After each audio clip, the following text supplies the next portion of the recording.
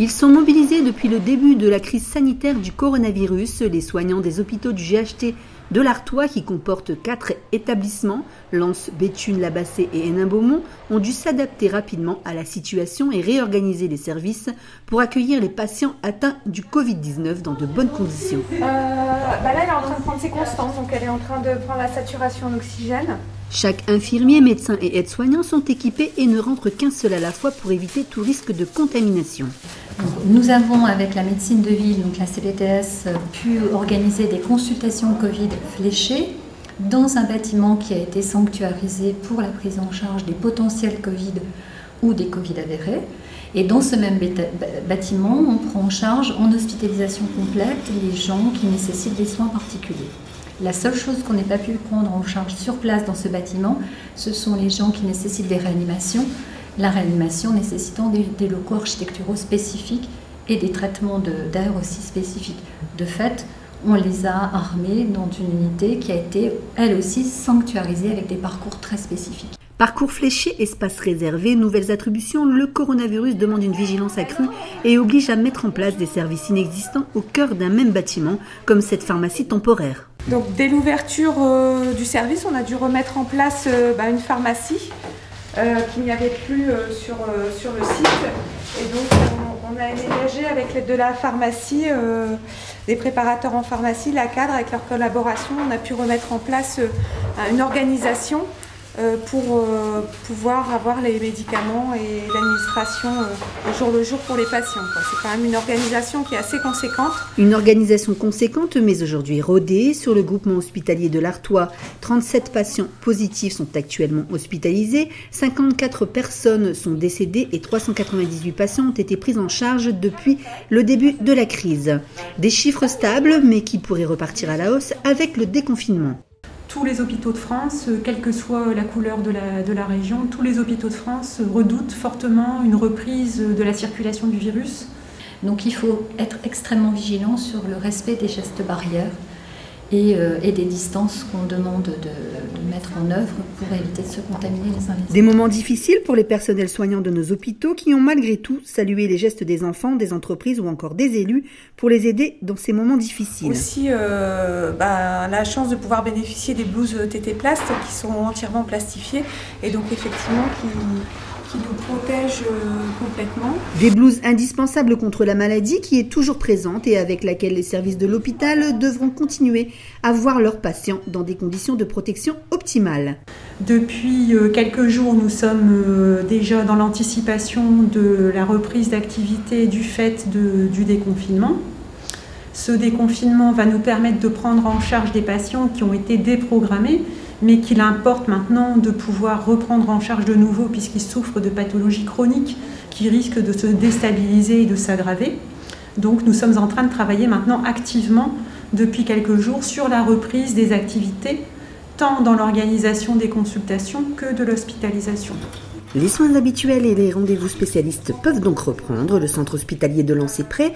N'oubliez pas votre masque et les gestes barrières.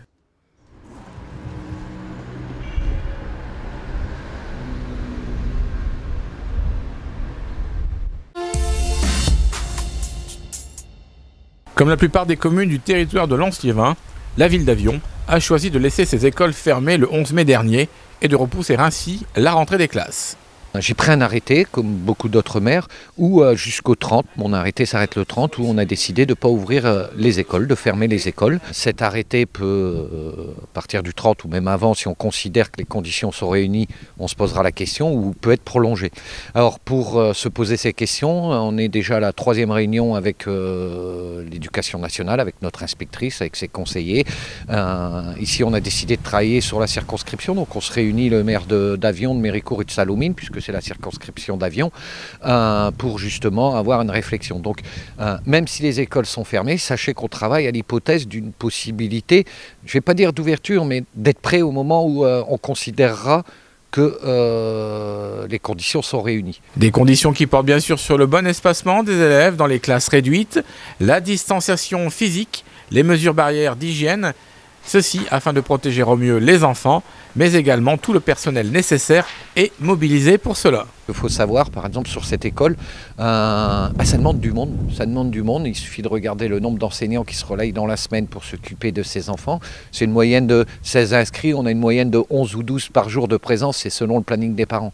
Mais ça demande du monde aussi à la municipalité pour nettoyer, pour encadrer les enfants périscolaires, euh, pour euh, organiser la restauration. Euh, donc vous voyez, donc faut mesurer que là on parle que d'une classe, on ne parle pas d'une école.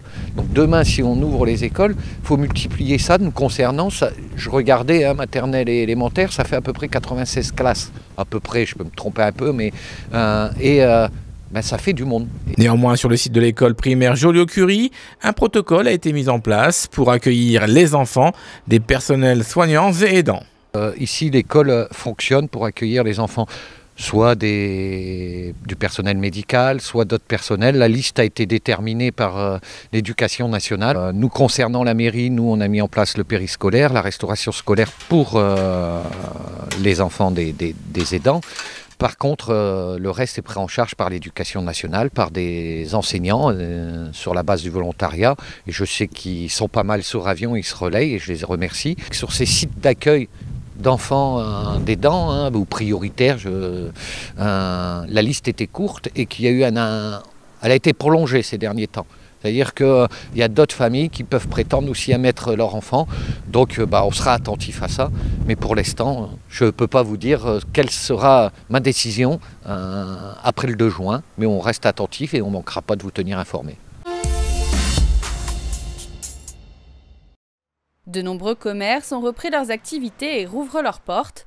À Lens, la municipalité et les unions commerçantes ont travaillé main dans la main pour distribuer des kits sanitaires aux 689 professionnels. On a décidé de doter donc les commerçants d'un bib de gel hydroalcoolique euh, d'une contenance de 500 ml, d'une visière euh, normée euh, AFNOR légère pour que justement ce soit par postillon, et puis de masques euh, non médicaux qui ont été réalisés par des couturières lançoises, notamment par le dé à coudre Michel Massé. Un kit lançois payé en partie grâce au budget manifestation des associations commerçantes. Le but c'est d'accueillir nos clients, euh, je veux dire dans toute sécurité et, en, ayant euh, ces kits qui sont à disposition, ça nous permet de travailler plus sereinement avec notre personnel. C'est un besoin puisque dans ce kit vous trouvez euh, la visière, vous trouvez le gel, vous trouvez les bases de ce, qu'un commerçant va avoir besoin, le masque. Donc euh, celui qui malheureusement euh, n'a pas pu trouver un élément, bah, il aura au moins dans ce kit de quoi démarrer tout de suite. Je pense que ça c'est important. Bah, nous l'idée c'était de se dire voilà, on a nos collègues qui vont ouvrir avant nous, il faut absolument qu'ils puissent rouvrir dans de bonnes conditions et puis euh, faire, faire euh, euh, montrer cette preuve de solidarité qu'on était capable à Lens de, de dire bah nous on peut pas mais les autres peuvent et il faut qu'ils puissent le faire dans de bonnes conditions. Et puis viendra le temps où ce sera autour de nos collègues de l'hôtellerie de la restauration les gîtes également je les oublie pas de rouvrir. Et je pense que c'est à ce moment là que les, nos collègues des autres corporations pourront eux aussi venir nous, nous soutenir dans ces réouvertures. Une solidarité représentée par un autocollant offert par Panolance. Euh, c'est un adhésif euh, qui va être euh, remis à tous les commerçants en même temps que kits de, réouverture offerts par la mairie. Donc le, but est tout simple, c'est de poser l'adhésif sur la devanture du magasin pour, pour montrer que, tous les commerçants en soi sont unis et sous les mêmes couleurs et, et, dans, et vont dans la même direction. Une initiative soutenue par le maire de la ville, Sylvain Robert. Bah, dans cette période de, reprise après confinement, il y a des initiatives qui ont été portées par la ville avec l'Office municipal du commerce, Festilance et Shopping Lance. Et puis il y a des initiatives privées comme euh, celle de Panneau euh, qui là montre aussi euh, l'implication dans le commerce local. Donc ils ont été là pendant la crise pour nous accompagner au quotidien. Maintenant c'est à nous d'être là pour eux et de relever la tête économiquement pour le territoire mais aussi pour l'ensemble des, salariés et des commerçants qui ont, qui le choc. L'objectif permet aux professionnels lensois de se relancer après cette crise sanitaire, une initiative appréciée des commerçants. C'est toujours plaisant, oui, on, ça montre un peu les actions que peuvent mener nos, confrères et nos collègues euh, commerçants en soi et que la mairie nous soutient euh, un peu dans cette euh, terrible aventure. Quant aux bars, restaurants et cafés, la décision devrait être prise à la fin du mois de mai.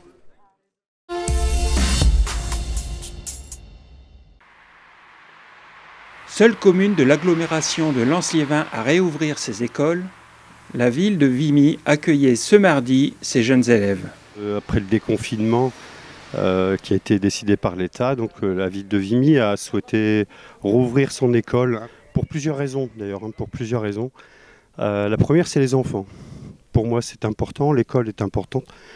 Et je ne me voyais pas rester, les laisser six mois sans école. Hein, voilà, donc il fallait absolument rouvrir. Également pour une autre raison, c'est que les parents euh, vont devoir reprendre le travail.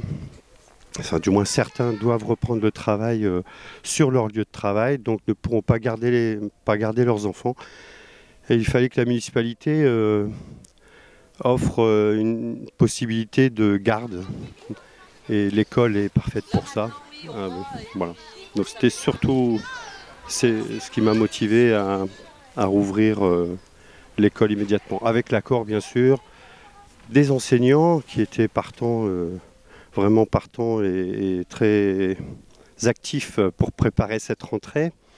Et, euh, puis l'accord des parents bien sûr, puisque c'est l'école est jusque fin juin sur la base du volontariat. Un volontariat peu suivi avec 13 élèves en maternelle et 31 en CP et CM2. On savait déjà un petit peu qu'il y avoir peu d'élèves, du moins cette semaine, du moins les deux premières semaines. Euh, je pense que beaucoup attendent euh, de voir comment ça se passe. Et ça se passe plutôt bien. Il faut dire que tout était prêt pour une rentrée dans les meilleures conditions. On prépare ça depuis presque trois semaines presque trois semaines. On a fait quelques réunions avec les, avec les enseignants, avec les parents d'élèves, et euh, pour euh, préparer ça dans de meilleures conditions, avec toutes les directives euh, de, de, sécurité, on va dire. Pour, pour les enfants. On a, fait, on a préparé tout un circuit, hein, comme beaucoup de classes. On a trois entrées, donc chaque section a une entrée particulière. Seuls les parents de, de maternelle euh, rentrent dans la cour de l'école, euh, puisqu'on a fait une entrée par l'arrière euh, avec un cheminement, et puis les autres classes rentrent par l'extérieur, et les parents ne rentrent pas dans l'école.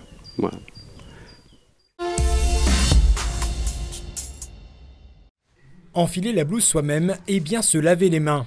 Voilà maintenant les nouveaux gestes à appliquer avant de passer nos cheveux dans les mains des coiffeurs. À Angres comme ailleurs, les salons ont pu rouvrir depuis le lundi 11 mai. Valérie est coiffeuse et a dû prendre toutes les précautions nécessaires afin de protéger ses clients. Au niveau des bacs à shampoing, on a des séparations en plexiglas euh, pour éviter en fait que les clients soient en contact euh, direct. Euh, il y a des petites trousses de protection. La cliente, une fois la prestation, le shampoing effectué ou le rinçage, le bac à shampoing est désinfecté avec des sprays javelisés. Ici, le gel hydroalcoolique a remplacé les magazines. Il faut jeter sa blouse à la fin de la prestation. Le mètre de distance est aussi respecté. Pour les plus vulnérables, il y a même la possibilité d'être prise en charge dans une autre pièce, éloignée des autres clients. Valérie a pris à sa charge toutes les nouvelles dépenses et a même embauché une personne à temps partiel pour l'épauler et assurer des rendez-vous plus étalés dans la journée. J'étais fermée euh, le lundi, c'était le jour de fermeture, donc là c'est ouvert le lundi. C'était fermé également entre midi et 2 et là, donc les horaires d'ouverture, donc ce sera du lundi au samedi de 8h à 20h. Euh, bah, le temps d'absorber en fait l'afflux euh, inhabituel de, de, personnes souhaitant se faire coiffer. Et résultat, le planning est bien chargé, signe que les clients ont confiance en leur coiffeuse. Valérie nous a prévenu lors de notre prise de rendez-vous euh, des dispositions qu'elle avait prises, également qu'il fallait venir avec un masque obligatoire et euh, qu'on aurait toutes les mesures de sécurité euh, à l'intérieur du salon. Donc ça m'inquiétait pas plus que ça euh, de venir. L'activité des professionnels de la coupe est donc relancée et sachez qu'ils privilégient la prise de rendez-vous par téléphone. Si c'est urgent pour vous, on ne peut donc que vous conseiller de les appeler au plus vite.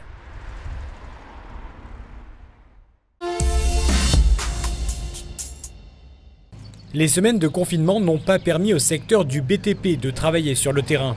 Le début du printemps est cependant une période propice au commencement des chantiers. L'entreprise de Romain, basée à Loison-sous-Lens et spécialisée dans la toiture, avait pourtant tout préparé. On a tenté de mettre en place de suite les moyens, euh, adéquats. Le souci est que nos clients ont refusé, parce qu'on travaille énormément pour du particulier. Ils nous arrivent de travailler pour des communes également. Euh, donc euh, les clients en général ont refusé. On a, donc pour ma part, étant chef d'entreprise, j'ai pas de chômage partiel, donc j'ai travaillé énormément sur place, administrativement également avec ma secrétaire. Mais depuis le lundi 11 mai, je pense qu'à ton niveau c'est bien. Ses équipes ont repris les travaux, comme ici à Los Angeles. Son client, Anthony, n'a pas hésité à rappeler l'entreprise pour la rénovation de sa toiture et du zinc. C'est logique, euh, suite avec tout ce qui s'est passé, euh, il était normal euh, que M. Crespel mette ses, ses employés en sécurité, pour nous comme pour eux. La sécurité est de mise dans ce secteur et les mesures d'hygiène s'y sont ajoutées. Pas de contact à proximité du particulier et port du masque obligatoire. Au début, c'est un peu compliqué de se mettre en route, mais euh, après, ça devient des habitudes. En fait, on le fait naturellement, on désinfecte plus souvent les mains. Euh, tous les 4 heures, euh, à la pause, on change de masque. c'est compliqué au début, mais c'est des gestes à prendre. Les entreprises du BTP reprendront les chantiers peu à peu sur tout le territoire.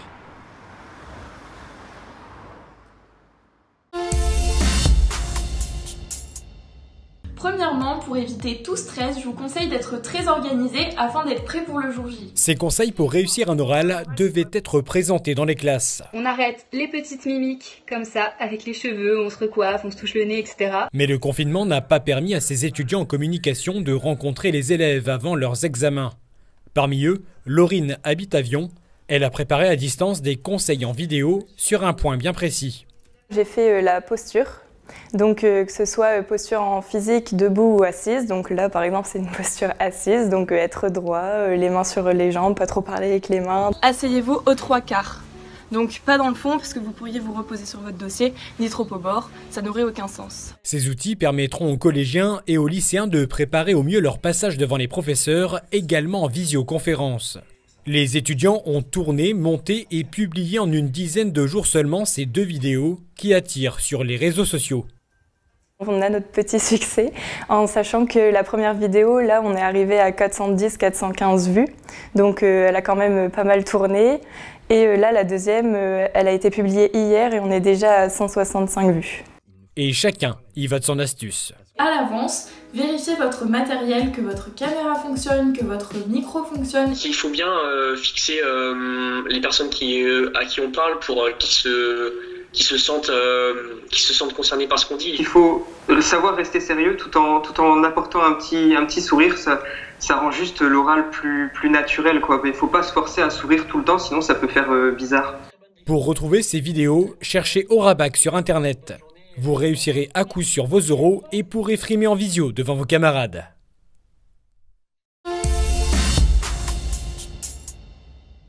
Cinq ans qu'ils attendaient ça. Les joueurs du Racing Club de Lens retrouveront dans quelques mois l'élite du football français, le championnat de Ligue 1. Une montée qui a été actée début mai après l'arrêt définitif des compétitions en raison de l'épidémie de Covid-19. Mais le RC Lens était deuxième de Ligue 2, donc en très bonne voie pour retrouver la division supérieure à la fin de la saison. Pour David De Coster, trésorier de la fédération Lens United, les acteurs économiques seront au rendez-vous.